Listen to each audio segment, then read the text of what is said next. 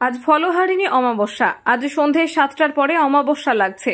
ফলহারিণী অমাবস্যা উপলক্ষে তারা পিঠে বিশেষ পুজো। আজকে যারাই মা তারাকে পুজো দেন, তারা পাঁচ রকম ফল এনে মাকে পুজো দেন। রাতে হবে মা তারার নিশি পুজো। ফলহারিণী অমাবস্যার পুজো উপলক্ষে আজ দুবার আরতি ও দুবার ভোগ দেওয়া হবে। ফলহারিণী পুজো উপলক্ষে তারাপীঠে ভক্তদের ভিড়। অমাবস্যা, আমরা জানি যে বারোটা অমাবস্যার বিভিন্ন নাম থাকে। কৌশিক অমাবস্যা, এই জ্যৈষ্ঠ মাসে যেমন ফলহানি অমাবস্যা কৌশিক অমাবস্যার পরে কিন্তু এই ফলহানি অমাবস্যাতে তারাপীঠে কিন্তু প্রচুর ভক্তের সমাগম হয়। তাই আজকে মাকে ভক্তরা পুজো দেবে কিন্তু ফল দিয়ে। পাঁচ রকম ফল দিয়ে, কারণ এই সময়তে আম, লিচু, বিভিন্ন রকমের ফল এই সময়তেই ওঠে।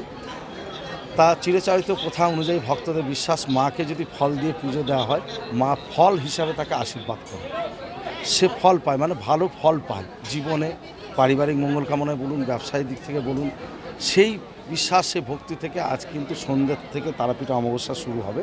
হাজার হাজার ভক্তের সমাগম হবে তারাপীঠ মন্দিরে এবং কালকে পাঁচটা পর্যন্ত অমাবস্যা থাকবে। তাই বিভিন্ন দিক থেকে এই হাজার হাজার ভক্তের যাতে কোনো অসুবিধা না হয়, নিরাপত্তা ব্যবস্থা শুরু করে সমস্ত ব্যবস্থাই নেওয়া হয়েছে। আর যেহেতু সারা দেশে রেজাল্ট বেড়েছে, সেই সময় নেতা মন্ত্রীদের একদিকে যেমন ভিড় হবে, বিহার, ঝাড়খণ্ড, বাংলা থেকেও প্রচুর ভক্ত আসবে।